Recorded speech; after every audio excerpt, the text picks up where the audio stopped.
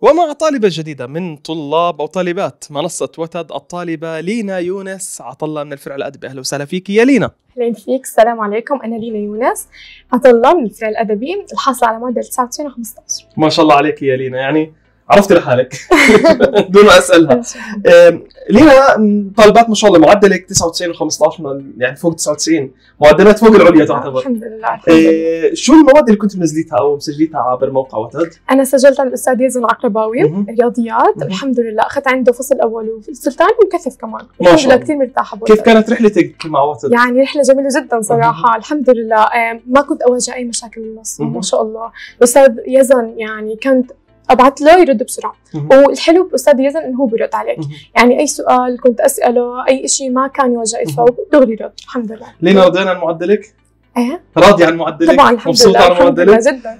طيب ممتاز. كيف كانوا علاماتك باقي المواد؟ غير يعني رياضيات خلينا نبدأ بالأول. الرياضيات أنا جبت 194 ما شاء الله. راح علي كم دائرة أها. للأسف يعني. بس الحمد لله الحمد يزن. ما قصر معنا كان يعطينا أسئلة كمان خارج المنهاج. بس هي الدوائر هدول كانوا يعني سهوا أها. يلا الحمد لله رب الحمد لله العالمين. رب باقي العالمين المواد كيف لا العلامات؟ الحمد لله. أحكي لك؟ أحكي لي طبعا. يعني- الإنجليزي 197 أها. العربي 198 ما شاء الله. المواد اللي حفظت كلهم الحمد لله. ما شاء الله ما شاء الله عليك. 200 الحمد 200 لله. 200 آه، كلهم 200 ما شاء الله عليك. طيب آه لينا آه تنصح الطلاب موقع وتد أكيد طبعا. ليش؟ أنا كنت أشوف صراحة منصات بدون ذكر اسماء إنه في بيعلقوا كانوا يعملوا كثير تحديثات بس منصة وتد الحمد لله ولا ولا ولا من من. البداية مين دلك عليها أصلا يعني؟ إيه ما شاء الله قريبه الله. جدا عن شاء يزن ومنصة وتد الحمد لله بس أنا جربت طبعا جربت تأسيسه وما شاء الله كان سفاح وبعديها رحت فصل أول مهم. الحمد لله أنا كثير غير في أساتذة كنت أغيرهم فصل أول بس مهم. أستاذ يزن لا بلتني معه والمكثف كمان كان سفاح والحمد. لله منصة رائعة جدا كنت بنصح متوقعه معدلك بتوجيهي؟ بداية لا صراحة. أنا كنت أطمح هيك أها. بس آخر شيء حسبته كنت كثير أنقص التعبير العربي. والإنجليزي. كنت يعني خايفة مثل الورست كيس أيوة أه 98 ونص هيك كنت الله. 99 الحمد لله يعني. شعورك أول ما شفتي العلامة؟ يا الله أحلى شعور. شعور بجنن الحمد لله. اسرع طبعا على السريع. طبعا. طبعاً. عيطت عيط عيط. لحد ما استوعبت يلا الحمد لله رب العالمين. سجلت رقم الجسم الثاني عشان أتأكد بالمعدل الحمد لله. الحمد لله رب العالمين.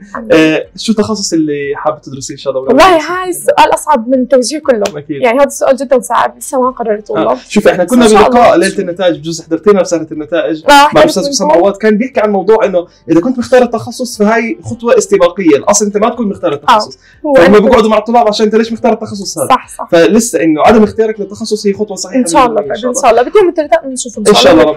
طبعا ما بننسى نذكر للاخوه المشاهدين والك برضه لينا إنه في موقع وتد في طموحي مستقبلي. شفته؟ وبعت. لي أخوي وإن شاء الله رح أفوت عليه. إن شاء الله. الف الله الف مبارك لك يا. رب يا لينا. وان شاء الله من العالي الاعلى يا رب إن شاء الله كل. شكر لك شكراً، الطالبة لينا يونس عطلة من الفرع الأدبي بمعدل 99 و15 وكانت منزلة مادة الرياضيات عند الأستاذ يزن العقرباوي في منصة وتد الله يعطيك ألف عافية شكراً. وكل التوفيق لك يا لينا أستاذ فيك. وتد منصة أوائل المملكة